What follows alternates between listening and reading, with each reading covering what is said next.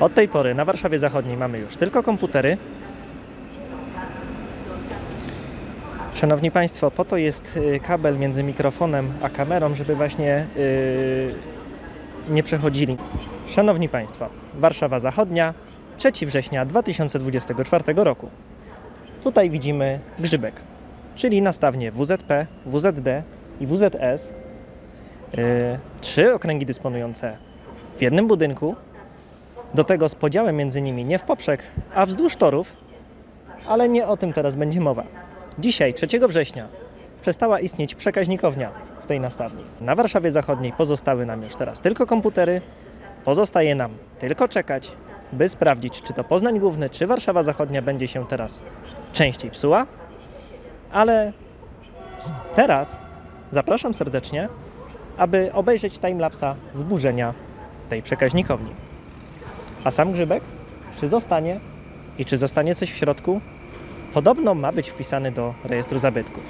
Ale znając życie, pewnie jak zwykle będzie to wpisana sama architektura, a mięsko ze środka, co ja będę mówił. Popatrzmy na burzenie przekaźnikowni.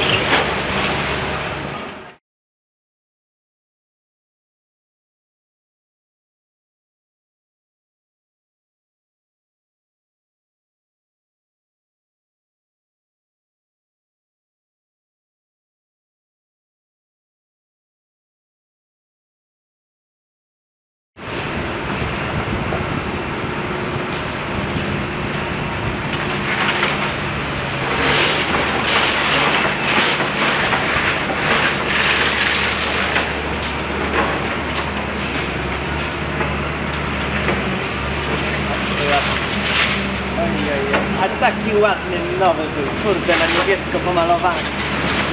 I w.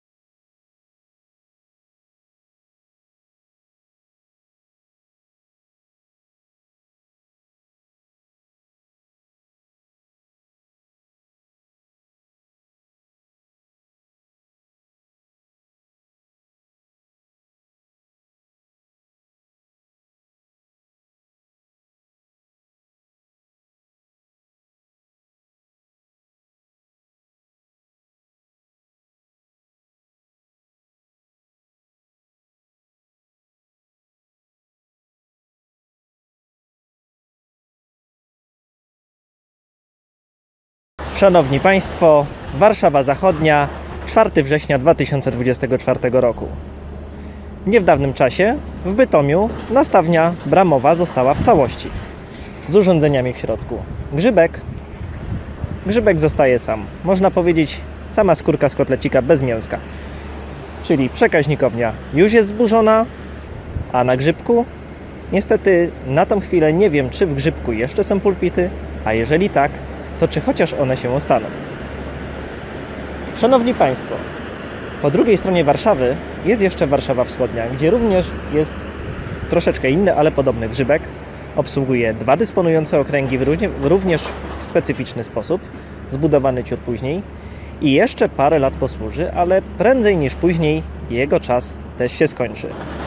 Czy w przypadku Warszawy Wschodniej koniec będzie taki jak tutaj, czy może taki jak w Bytomiu? Tego dowiemy się za parę lat. Mi pozostaje mieć tylko nadzieję, bo nic więcej sam w tej sprawie nie jestem w stanie zrobić. Dziękuję Państwu za uwagę i do zobaczenia.